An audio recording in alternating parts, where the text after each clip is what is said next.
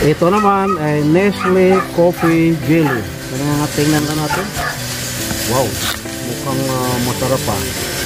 Uh, merindahin po ito mamaya. Nestle Coffee Jelly. Ice cream, bagay sa mainit na panahon. Summer na summer.